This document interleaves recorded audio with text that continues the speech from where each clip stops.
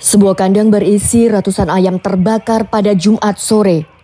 Tampak pada video amatir yang direkam oleh karyawan kandang, petugas pemadam kebakaran berjibaku memadamkan api.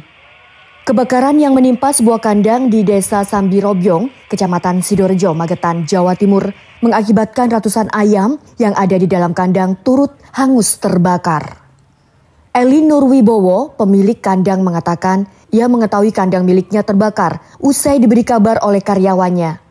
Ratusan ayam mati karena panik terkena asap dan tersambar api. Apinya membesar, padahal kan anak kandang ada. Jadi habis dicek belum lama, paling sekitar berapa menit yang lalu, sekitar setengah jam terus tahu-tahu apinya itu sudah membesar.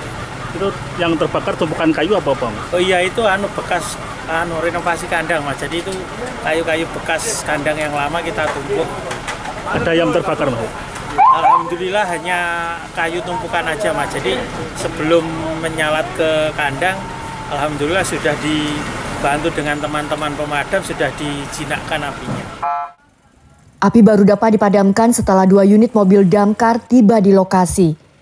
Diduga api berasal dari tempat pembakaran ayam mati.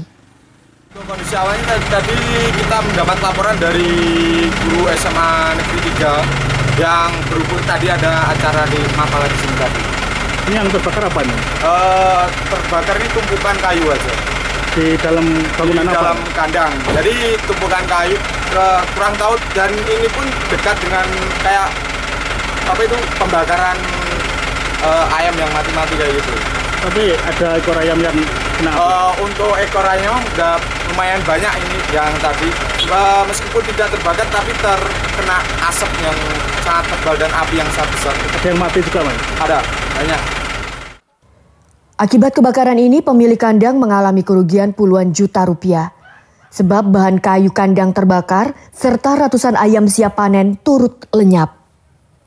Dari Magetan, Tim Liputan, Garda TV.